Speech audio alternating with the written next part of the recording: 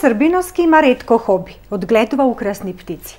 За себе вели дека одгледува птици од најмала возраст. Љубовта кон птиците ја наследил од неговиот татко Стојко, а ја пренесува на своите три деца – Симона, Стојче и најмалата Настасија. Во неговото мало птичјо царство има голем број убави и необични птици на кои е горд. Се грижи и одгледува джуджеста живина, како што е кокината, украсни гулаби, меѓу кои автохтоната охридска гакеста ластовица, месрката, македонскиот вртач дунек, различни видови папагали под полошки. Србиновски засега е единствено охриѓанец одгледувач на украсни птици кој се појавува на сите државни изложби. Покрај тоа што одгледува украсни птици, тој од неодамна се стекна со сертификат и за државен судија за оценување на птици. Ве поканувам, почитувани пријатели, во следните минути Србиновски со нас да ја сподели љубовта кон птиците и неговиот сон еден ден да има свој мал зоопарк во Охрид.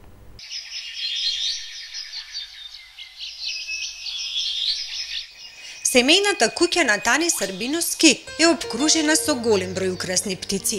Неговото хоби е одрез на неизмерната љубов кон птиците. Ги одгледува и сака да ја споделува нивната убавина со другите луѓе. За оваа необична пасија кон птиците, вели дека ја има од најрана возраст. Весело додава дека кога се родил, бил покриен со пердув. За мене тоа е едно царство на, на, на птици, или а, една моја рајска градина каде што каде што кажеме ние ги каде што ги полниме тие батерии а, каде со кои се водушевувам. Значи точно е, значи со бројката не би се фалил и никогаш не би имал намера значи да вака медиумски да е кажувам, не е тоа значи некоја а, вредност. А, сепак имам голем број на птици одразноврсни, значи, почнувајќи, значи, како што кажавте од гулаби, тука се тука имавте прилика значи да ги видите структурните гулаби, значи тоа се перикирите, добошарите, германските двокапи добошари, значи, потоа индиската мока, англиската англиската минимум дена, значи лепезаните, па имам капуцинери, македонски автотони раси ги имам, значи македонската масарка е застапена во, во неколку нијанси. Е, ја имам и со боса, ја имам и со, со гајчи и со чорапи, како што е во, во, во, во, во тие типови.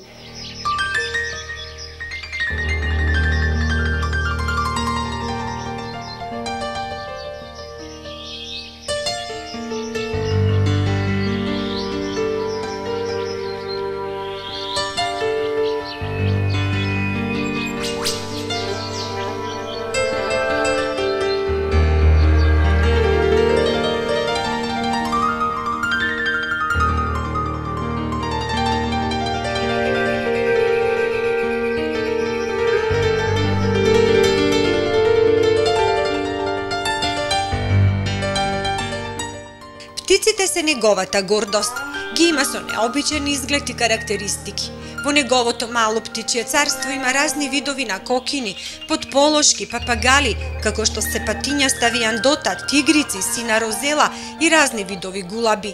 Посебно место за земаат масарката и охридската гакеста ластовица.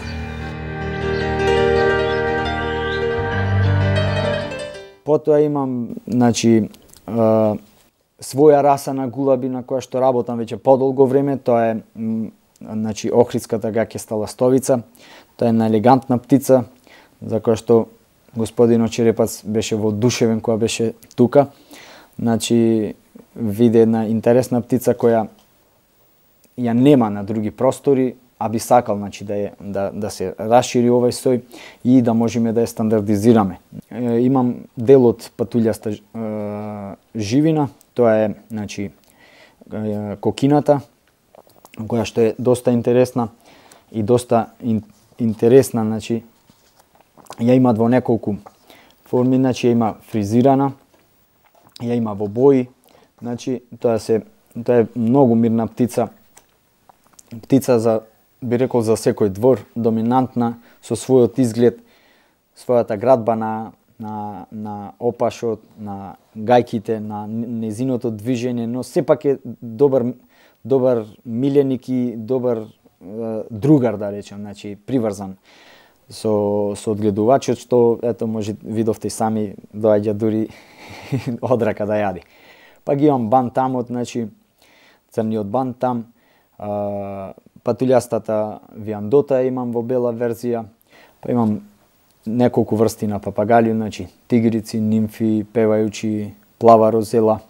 И сега со најново време е моето мало мала мини одгледувачница на а, подполошки, тоа се значи екзотични птици, каде што ево имате можност да ги видите тие украсни шарени јајцина кои од лични потреби, поточно потребите на мојата мала кирка, почнав да ги чувам и преде во во една мала мини фарма би ја нарекол, значи каде што можам да да да обслужам уште дел од луѓе кои сериозно имаат потреба од тие јајца.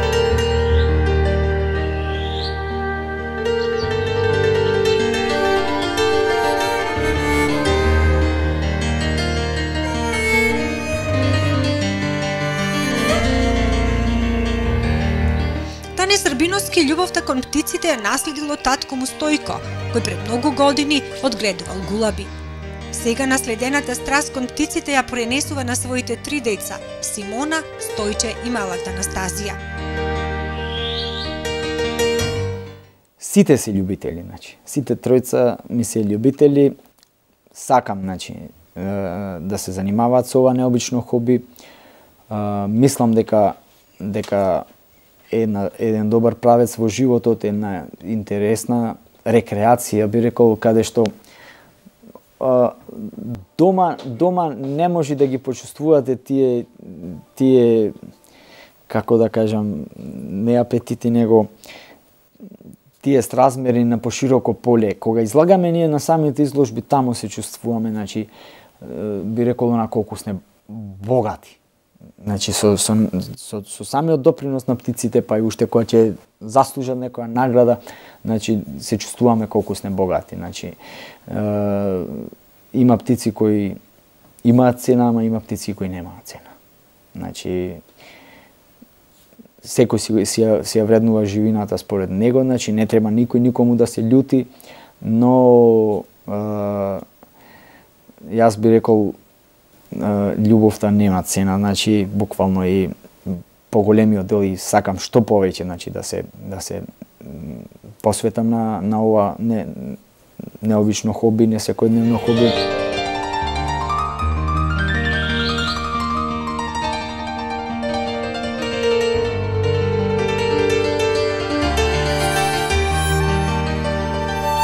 Постапките на татко му чекори малиот стојче и тој неизмерно ги сака птиците, ги храни и помага околу нивното одгледување.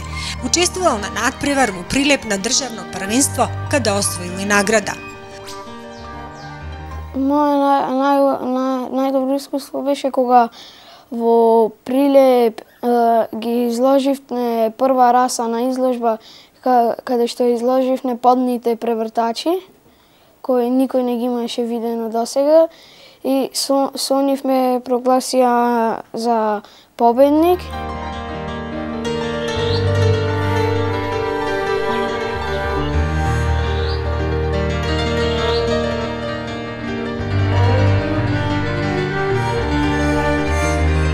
Покрај секојдневните обврски, Србиновски голем дел од денот поминува грижејки се за птиците.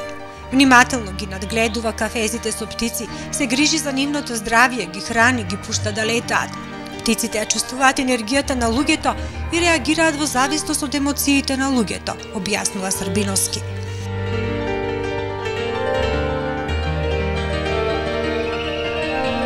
Птиците се интересни, да како што кажавте сами, значи се а, знаат точно да изреагираат на луѓе, поточно на позитивни и негативни луѓе, значи јас тоа го имам заприметено лично кај мене дома, значи при доаѓање на некои лица како реагираат моите птици. Доколку се птиците мирни, јас знам дека а, тој човек би рекол е добронамерен, значи птиците се, се како што се усмене, така се и уз него.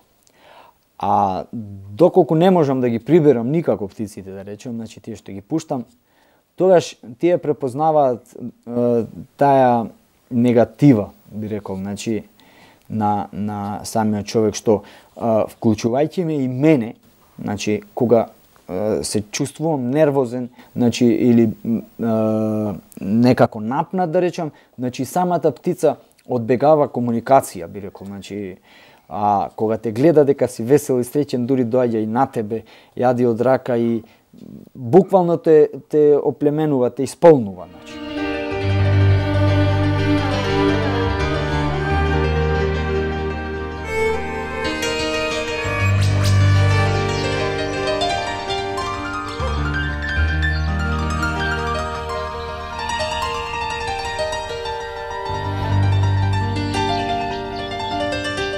Убавината на една птица зависи од многу фактори, открива Тане. Убавината на птицата зависи пред се од е, негата. Значи, почнувајќи од самата нега, потоа од самото сместување на самата птица, значи треба треба да му се задоволат некои работи и е, следно е значи исхраната поточно да биде исхраната во правилен тек и што поразноврсна. Значи, да би дошла, да, да би птицата би можела да ја имат е, својата убавина, својот сјај, Значи, во на време кога е сезоната на, на митарење, значи.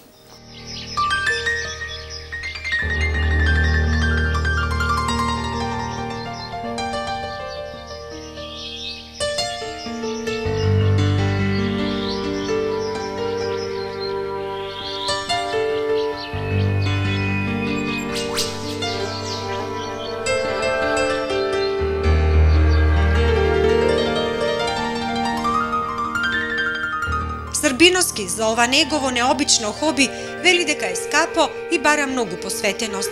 Посебно се грижи птиците да добиваат квалитетна и разновидна храна.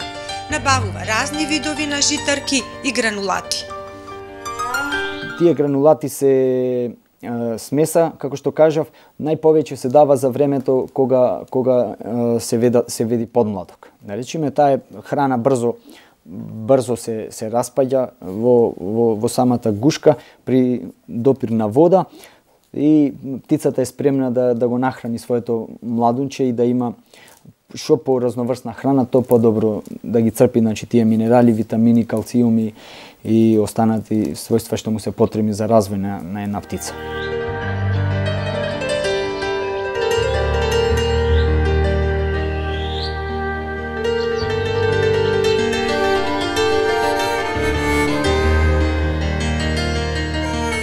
Како одгледувач на украсни птици се горде со автохтони видови, но тие не се стандардизирани и не се заштитени, раскажува Србиноски. Тоа се македонските автохтони сорти на гулаби, значи тоа е македонската масарка или надвор познат македонски ружан, македонскиот донек вртач, значи и шарпланинскиот пејач. Значи, тие се секоја за себе препознатлива, потекнува точно од Македонија. Јас имав прилика да видам дел од тие птици, значи, во, на изложбите во, во Србија. Значи, луѓето се заинтересирани за овие македонски автохтони раси, но не ни се се уште стандардизирани. Во едно списание, значи, во Вест имаме а, имаше точно, значи, една слика на страницата каде што кажува дека ќе ни ги грабнат е, соседите ако не ги заштитиме, значи. Тоа е значи шапланинскиот пејач, препознатлив е по неговиот изглед капата на главата има капа која оди према клунот напред, како некоја флизура, а македонската автохтона масарка е таа горе, таа е исто мајата победничка и тогаш и сега, која има која има ружа, значи машна, така речено, на, на самиот врат, која наликува на ружа, на цвет, и треба да биде во што подобар размер, значи, за да ги исполни тие, тие критериуми. А, сепак треба поголеми залагања, значи, ни треба долго време, уште време за да ги стандардизираме. Овие, овие птици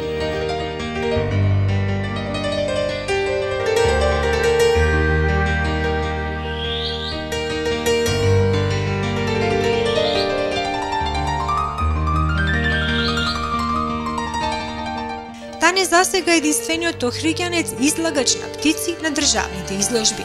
Неговите птици предизвикуваат силно внимание кај судиите, но и кај останатите одгледувачи на птици, не само од земјава, туку и од странство. Посебно горд сум на, на, на украсните е, гулаби, повеќето да речам, затоа што се не секојдневни гулаби и ретко чувани, да речеме, во на, на овој периферен дел. А, не би можел сега точно да издвојам некој а, како вид, но а, се повеќе сум горд кога можам да, да, да, да донесам некоја нова раса која што ја, ја немам во Македонија, да речеме, или е поредка во Македонија, па би имал можност да, да ја, да ја чувам. Значи, тука тука станува збор значи со со со самиот увоз на тие птици каде што имаме сериозни проблеми значи на границите. Ова неколку пати го имам потенцирано, значи апел до до до властите, апел до до е, министерствата кои се надлежни за таа работа да не ни гледаат нас како трговци. Значи, е, ние сме љубители на тие птици, доколку не направиме увоз на, на, на украсна живина од надвор, ние не би можеле да имаме свое матично јато, не би можеле да имаме подобар квалитет. Значи, буквално сме затворени во еден оквир.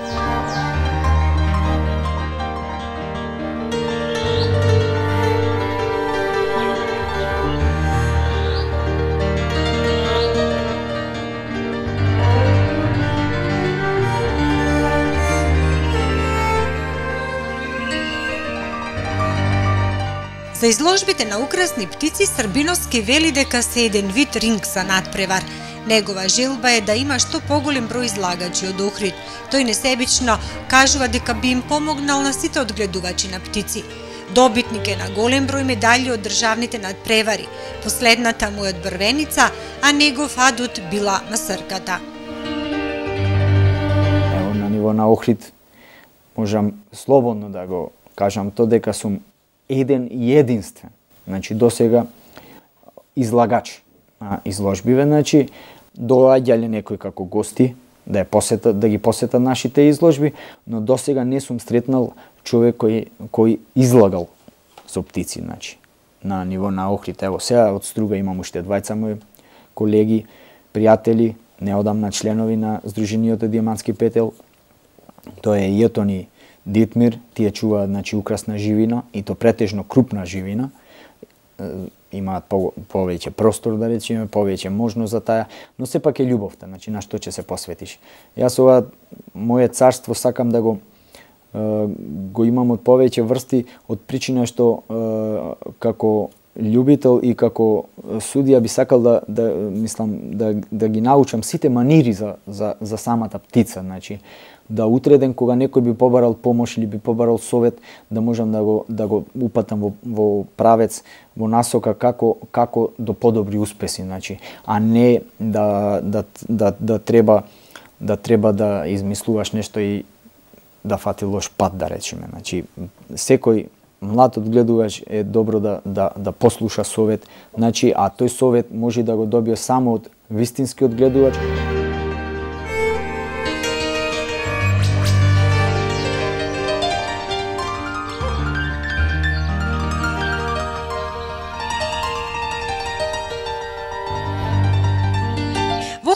Сега нема Сдружение на одгледувачи на украсни птици. Србиновски неколку години е член на Сдруженијето на одгледувачи на украсни птици Диамански петало Тетово. Покрај тоа што е одгледувач на украсни птици, тој од неодамна станал и државен судија за оценување на птици.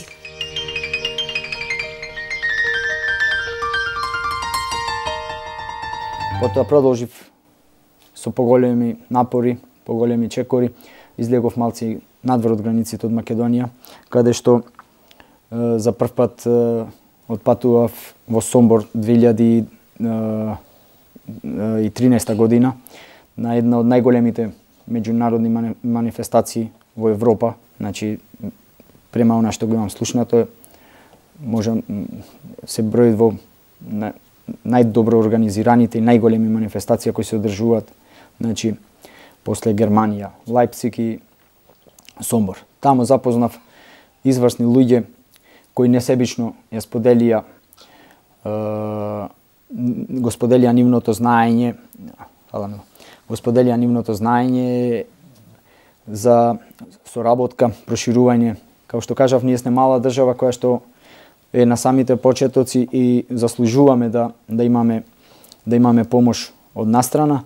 Значи, тука кажав дека 2010 за прв пат дојде господинот Сафундич, значи 2011 ја имав таа чест летото ми беше гостин тука во Охрид каде што дојде да ги видит моите птици, иначе тој е одгледувач на на а, патулјаста живина, поточно бантами и е инструктор за таа живина.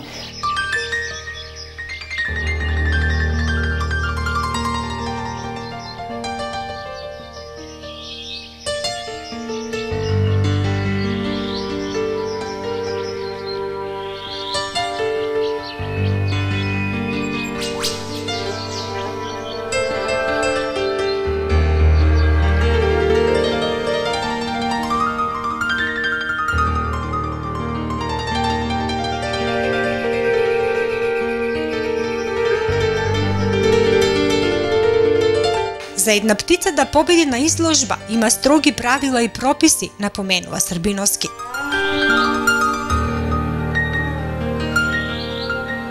секој кафес или волиера го поседува и се во нив се се е впишан значи собственик, таму расата, бојата, полот и точно кај секоја птица има значи предности, пожелни особини и негативности и грешки. Точно значи со прирачник Тоа е, е книга, значи, е, на ниво на, на Европа, која е за стандардизација на, на, на секоја птица, пропишано правило како точно таа треба да изгледа. Значи, тоа го составиле лица кои од време го негувале, за, значи, затоа и кај нас треба точно да се напише тој правилник за нашите македонски автофтони, за да може сите други лица да, да имаат е, јасна слика како би, би изгледале тие птици. Значи, точно на секоја птица се пишува кои се предности, значи, то се значи, позитивни работи, со кои самата птица добива добива добри добри оценки. Но со со секој со сите значи предности следуваат и некоја пожелна особина која ние во моментот ќе ја заприметиме дали ќе е тоа малу нега, дали ќе биде малу по поотворен опашли или нек, некои други работи, значи и тоа го испишуваме на самиот картон.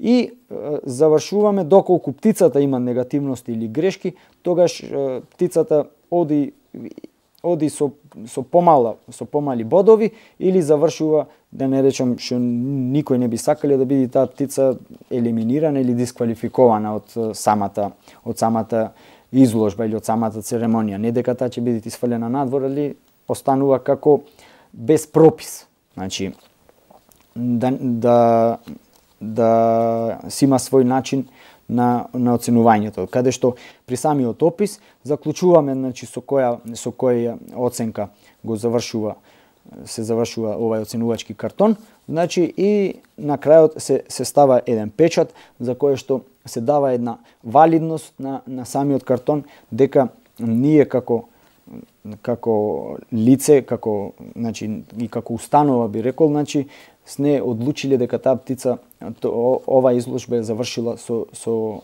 со таа оценка.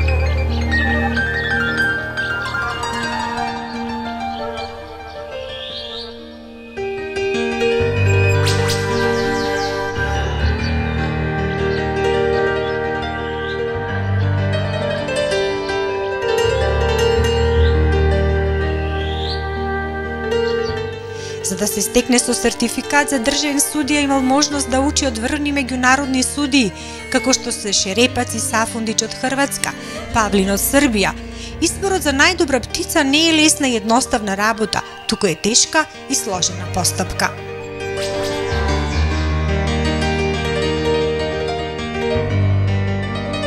Да, мислам дека мислам дека е тешко, нарочито познавајќи ги сите колеги, сите пријатели, значи не можеш некому да му дадеш појче, некому помалце, затоа што гледано на целокупната работа доаѓаат и, и лица постари кои ако ништо појче може не знаат за некои други врсти, но за некоја врста што ја познаваат, не би сакале да се да се деси таква ситуација да да речат еве неправилно е оценета или е премногу премногу бодови, помалку бодови, каде што има, значи не велам не, има на, на нашите изложби, се дешава да, да има незадоволни одгледувачи, значи инсистираат со свое мислење, но според е, критериумите, според стандардите, ние е, сепак е, се трудиме да ги насочиме во, во правен тек, значи да, да сватат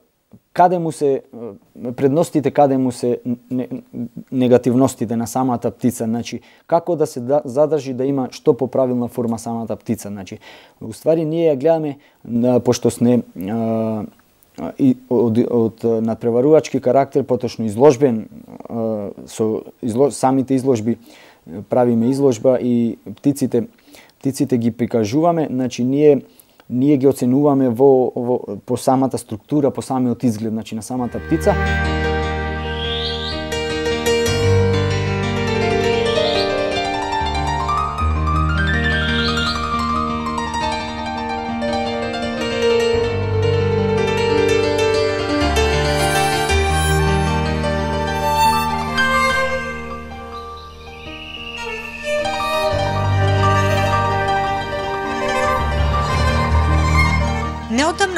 Неодамна градинка Јасна Ристеска, Србиновски организираше изложба на разни птици.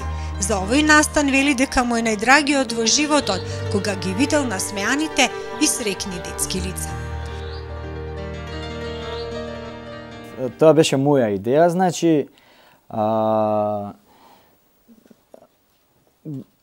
дадов една идеја, една иницијатива за која што не знам дали некој друг се сетил, значи направи ја предло ја кажав таа идеја на моите двајца колеги од Струга како што кажав, значи ја предложив и ја ја направивме таа мини изложба, значи во градинките на ниво на на на Охрид, али тука најголема заслуга би рекол е, е до, би ја упатил до директорката значи на на градинката господјата Роза, која најде разбирање, значи да да не прими, да не прими да ние можеме ги да ги прикажеме овие птици, значи дел беше прикажан од птиците, поточно 128 примероци, значи на и на птици и на живина, пошто имаше тамо дури и патки, имаше и зајци, значи имаше крупна живина, гулаби,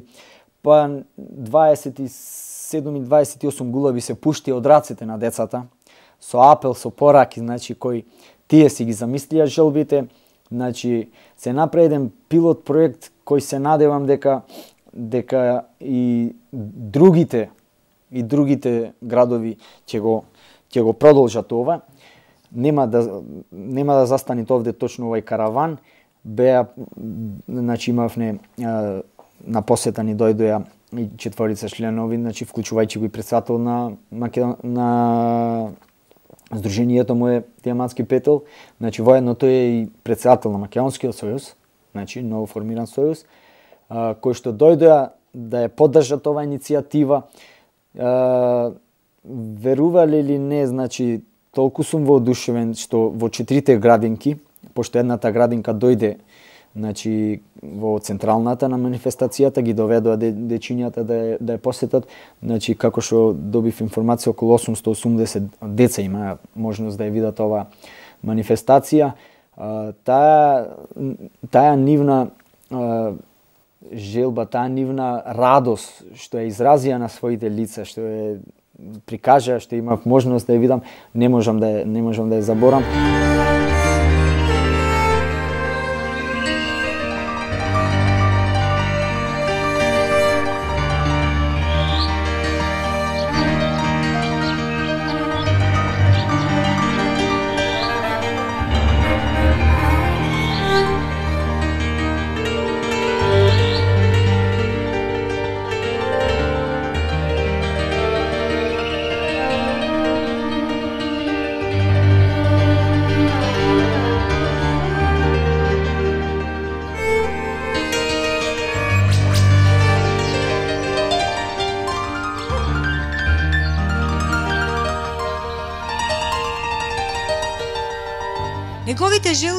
Нешта поврзани со птиците до сега се остварувале, а се надева дека и неговиот најголем сон ќе стане реалност.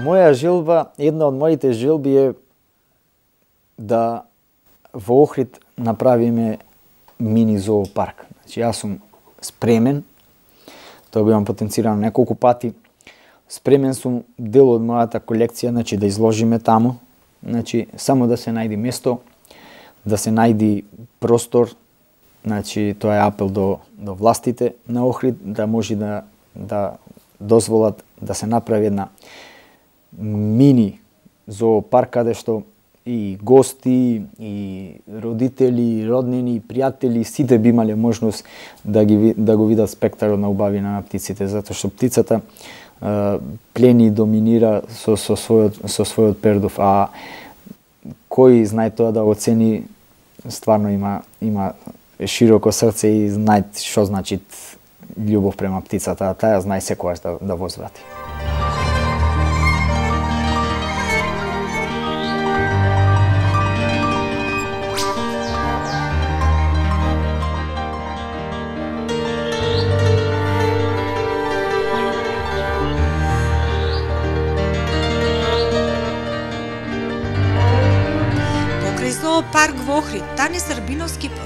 Посакува стандардизација на автохтоните македонски раси на птици и формирање на здружение на одгледувачи на украсни птици. Посакува институциите да ги разберат потребите на одгледувачите и да ги отворат границите за да може да ги покажуваат своите миленици и надвор од нашите граници. Се надева дека сите овие негови желби еден ден ќе станат реалност.